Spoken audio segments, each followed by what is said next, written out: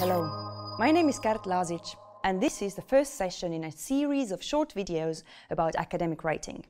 Since this is the very first one, we'll be asking the big question, what is academic writing? And we'll be looking at it from four different perspectives to discuss how that shapes the way how we position ourselves as writers in the academia. The first truth about academic writing is that it's a skill. What this ultimately means is that it's not just a set of information that you gather so that you would have a lot of knowledge about it. That kind of knowledge is useless if you can't put it into practice. That means that you need to practice. It's, um, it's uh, the same as it would be with any other kind of um, skill. Swimming. You wouldn't expect to be a good swimmer just by reading a lot of books about how to position your body when you get into the water. Instead, you would have to get into the water and make it work. You might feel like drowning at times, but if you get back to it and you start over again, you will, by the end of it, manage to stay afloat and even move ahead. It's the same with academic writing. You have to practice. That comes with a sense of responsibility. You can't just pick it up like that. You will have to get your nose into it and work hard. At the same time, you have to realize that this comes with a sense of hope. You see, if it is polishable, if you can work on it, if it is not something that you're supposed to be born with, but you can develop it in your life, then it means that even if you can't master it just right away, if you work hard on it, you will get there. The second point that we are looking at is that good writing is a cultural construct. Now, this might sound a little fancy and overly philosophical, but you'll see why it's important in just a second. For example, if we take the general characteristics of what is considered good academic writing, then people from all across the world through different disciplines would all probably agree that these qual qualifications apply. It has to have clarity and brevity, it's expected to have a certain level of formality. It should be objective, and all the claims that you make should be supported by evidence or examples. Everybody agrees. The complication happens when you try to define exactly what each individual in each different context means by those terms. Clarity and brevity can differ from location to location. And thus, we have to talk about different traditions of writing within academic writing. Being aware of that is crucial if you want to make sure that you are producing texts that are fit for the context in which you're writing. So, for example, it might happen that you are writing in something that is called reader responsible tradition. That ultimately means that the person who is responsible for the text working well, for the text to be understood, is the reader. It means that the writer, with their competence and expertise, can create a text, and it's the responsibility of the reader to make sure that they have enough background information, that they can follow the thoughts, that they can create the connections between different ideas. If it doesn't work, who's to blame? The reader. There is another tradition, and that is called the writer responsible tradition. And it needs to be noted that the Anglo American tradition of writing usually opts for the writer responsible. This means that if the text doesn't work, if the reader cannot understand, if an idea seems disjointed, if something is not flowing smoothly, it's the responsibility of the writer, and they are to blame if it doesn't work. That means that it's the job of the writer, not the reader, to work on it, making sure that tra transitions are smooth and the reader is picked up from one end of the text and carried smoothly without any gaps, any hiccups to the end of the text, proving a point. That is just one of the examples of how it's a cultural construct. And the strange thing about it is that these local varieties can occur anywhere through different levels of academia. We can talk about um, a specific local variety in a certain discipline. Thus, writing in the field of chemistry actually comes with a slightly different understanding of what academic writing is than, let's say, writing in theology. At the same time, these local varieties can be boiled down to a specific university, a specific department, and even a specific lecturer. Because each of us approach academic writing from a slightly different perspective. So if you want to be successful in your writing, you would study the context into which you're writing instead of assuming that when I say academic writing and you say academic writing, we're necessarily right on the same page.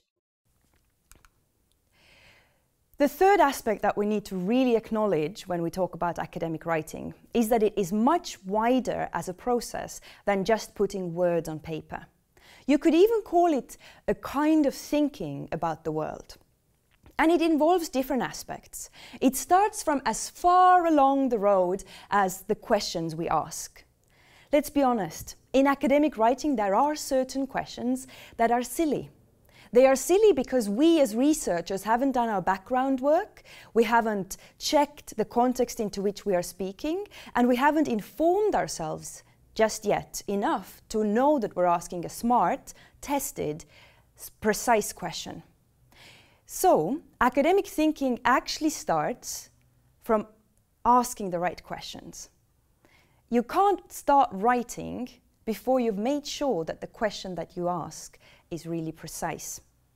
Paradoxically, if you ask the right kind of question for the type of paper that you're supposed to write, it actually, in a strange way, writes half of the paper for you. If the question is right, everything else clicks into place naturally right after that in the process.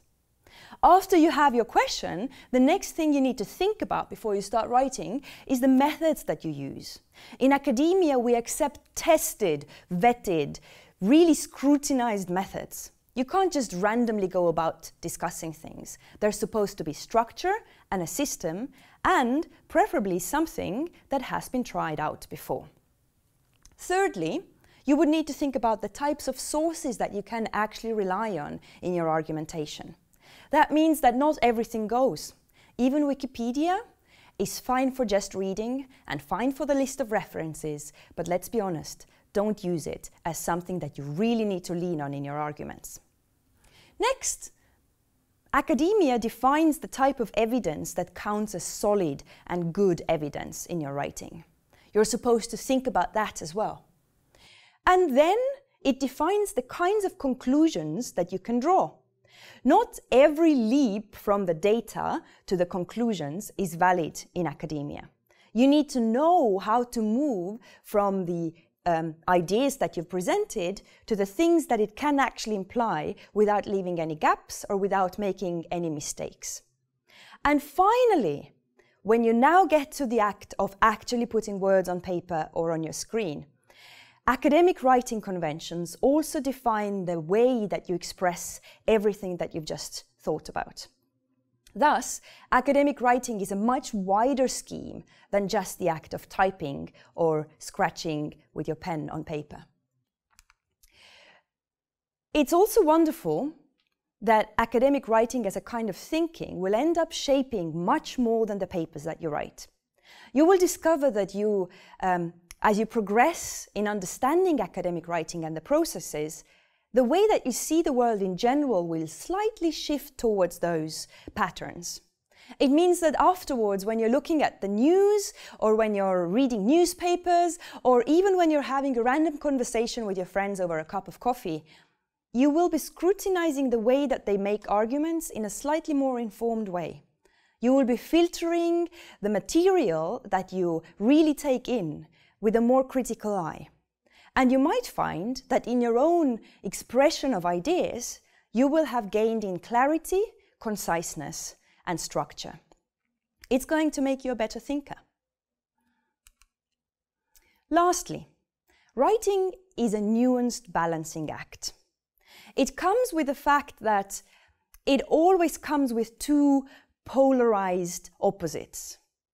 In, in academic writing, you're supposed to balance between creativity and critical thinking.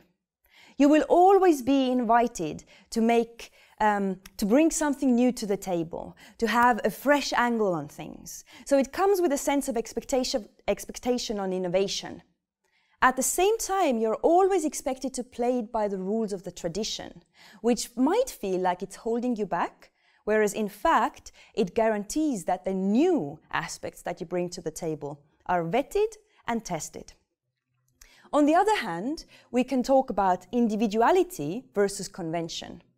You, as a writer in the academia, will be a unique individual with your own angle and your own flavor of writing. But this needs to now be expressed within the confines of the convention. That means that you can think about it as a metaphor of dancing. If you want to attend a ballroom dancing competition, you would be expected to come up with a routine for, let's say, Viennese waltz. If you want to really be successful in that category, you will take the rules and the steps and the rhythm and the kinds of motifs that you create from the tradition of Viennese waltz, but you will make a routine that is uniquely yours. Academic writing is just that. It is an adorably messy process of thinking and expressing yourself in a certain kind of a framework within the confines of tradition. That comes with two layers. First of all, you can see it as a chance of taking a tradition and creating something new.